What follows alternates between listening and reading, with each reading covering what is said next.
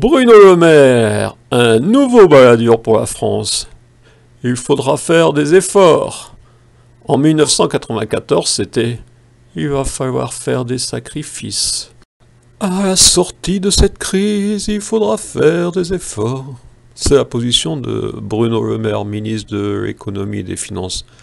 À qui je réponds, à la sortie de cette crise, il faudra faire le ménage, un grand ménage naturellement dans l'entourage du président.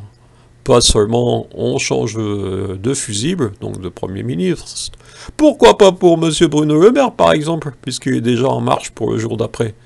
Un grand ménage, une dissolution d'une Assemblée nationale où tellement de députés ont revêtu leurs costumes étroits et coutumes sectaires.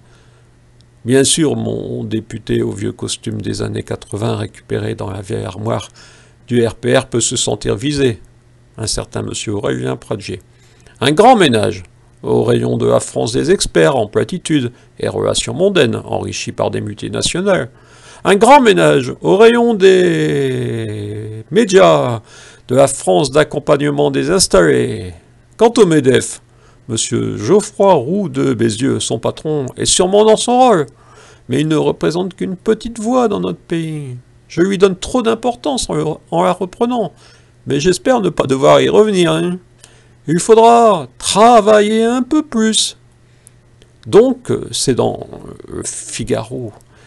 Il faut bien se poser la question, tôt ou tard, du temps de travail, des jours fériés et des congés payés pour accompagner la reprise et faciliter, en travaillant un peu plus, la création de croissance supplémentaire.